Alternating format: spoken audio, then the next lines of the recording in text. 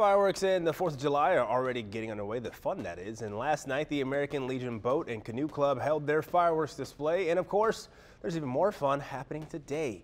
We've compiled a list for you of all the festivities going around in the area on our website, 13onyourside.com. All you've got to do is find this story located on our homepage.